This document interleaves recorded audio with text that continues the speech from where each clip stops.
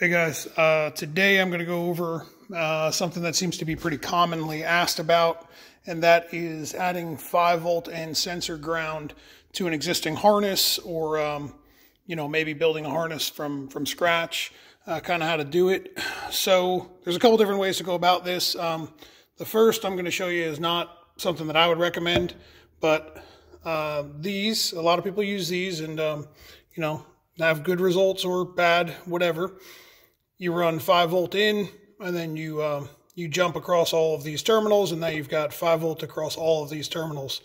Um, this is, uh, you know, you, you, would just run your 5 volt out of the ECU to a ringlet or ring eyelet terminal and hook it up here and then jump across all of them. They make these little bridges for these things. I don't have any here because I don't ever use these things. Um, but uh, I pulled this one out of a car and I figured it'd be good to show a demonstration.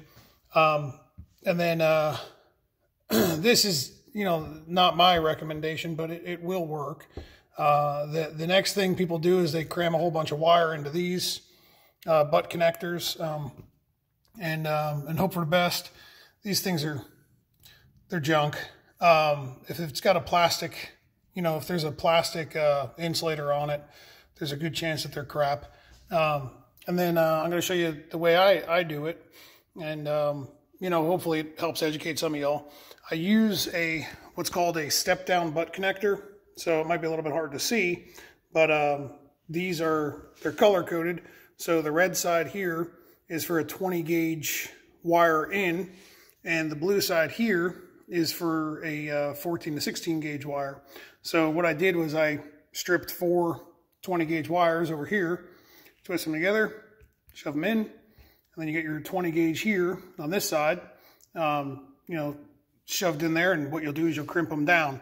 So the, the first thing I'm going to say about using any any type of wiring, period, it doesn't really matter what you're doing, um, use good tools. So uh, these are these are good. They're you know they're the they're I believe these are Klein, um, but there's a non-insulated port right here, and then there's an insulated section here. Um, the I don't have any of the the cheap ones you get from like AutoZone, you know, that have the color coding for for these, but um, they're trash. They deflect a lot. They don't actually get a good solid crimp on the wire. And um, the other thing is is use a good quality you know wire stripper. These happen to be um, made for the type of wire that I use, but uh, just don't just don't buy the cheap you know AutoZone AutoZone special. Um, Klein makes a good wire stripper for standard style wire, two different sizes. Um, you know, just don't don't use cheap junk for tools, and you'll have a better uh, a better outcome. Um, the other thing that I kind of always like to point out is um, I like to use these flush cutters when cutting wire because it's a heck of a lot easier to get the wire cut straight than it is, uh, you know, using maybe a pair of linesman pliers or a, a big pair of dikes on an angle.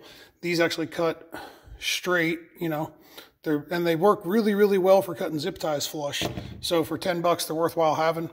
Uh, so anyway, after you've done this, and uh, these step down butt connectors come in many different sizes and variants. So here's another one. This is another style. This will be a little hard to see, but um, on this side, right there, you see the hole's pretty small, and that's made for 20 gauge. And then on this side is made for uh, 16 to 18. I'm sorry, 22 on the other side, 16 18 on this side. So uh, what, what it does, you can notice the hole's a little bit, you know, smaller here and then bigger over here. And then uh, this one is for, I believe this is 10 gauge on this side and um, 14 gauge on this side. So uh, if you've got a, say you have to split a power feed out to injectors, right? So when you're gonna when you're gonna split up your injectors, um, and maybe you've ran a, uh, a, a 10 gauge on one side and you're going to split it to two 14s. Uh, this is a, this is a good option, right? Um, but one of the most important parts of doing anything like this is to make sure one, proper tooling and two, uh, proper sealing. So this is, uh, this stuff's a little bit more expensive than what you'll find on Amazon but it's uh, it's worthwhile. Uh, this stuff is made by Raychem. This is a uh, dual wall adhesive lined heat shrink. Um, and what that means is it's uh, this stuff's actually, you can see it's very, it's difficult to squeeze. It takes a good bit of effort to squeeze. Um, that's that's a SCL series, right? So that's um, that's SCL from uh, from Raychem, and then they also have a uh, a little uh, little less uh, rigid um, type of heat shrink, and it's called uh, ATM or ATUM. Uh, this is also adhesive lined, um, but notice it's a lot a lot more pliable, a lot more flexible. So whenever I'm doing a junction inside of a harness, um, I like to use the rigid SCL stuff um, and it, will provide a, a, strain relief um, across these two sides, okay? So it'll provide you some strain relief from this group of wires here to this group of wires here. So if you pull on these, right, if you're trying to pull this apart, which you shouldn't be yanking on a wiring harness anyway, but um, that also comes into why I, I, I, twist all of them together so that when you when you pull on something, it's not pulling on one wire, it's pulling on the entire bundle, and it's a lot stronger when you have a whole bundle. But um, you know, use a good adhesive lined heat shrink. Uh, uh, the four to one shrink ratios are really nice because it'll be big enough to fit over all four of these, but it'll shrink down small enough to get tight on this single wire. So I always recommend using like a four to one good dual wall adhesive lined uh, adhesive line heat shrink. Um, but that's that's how I do it. So when you um, when you're coming out of the ECU, you know this is your ECU plug. You'll have one wire coming out, and um, you run it to whatever point you want in the harness, and then cut it to length, and then uh, take. I use white wire here, but like for five volt, it's typically orange. And then for sensor ground, it's typically black. But um, I just used white because it was easier to see on a black background.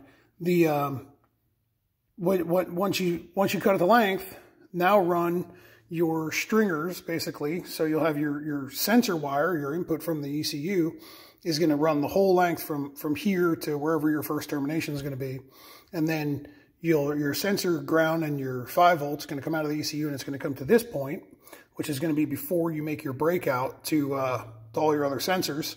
And then you'll break out the appropriate amount of length from this point to the first termination, which would be maybe your bulkhead connector or your, um, you know, your pressure transducers or whatever it may be.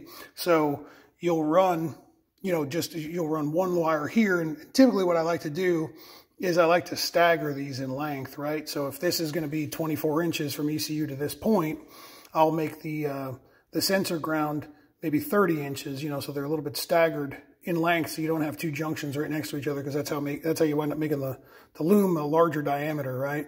So, um, so, what you know, you, you, stagger them in length and then, um, you know, provide strain relief with, uh, with a good adhesive line heat shrink tubing.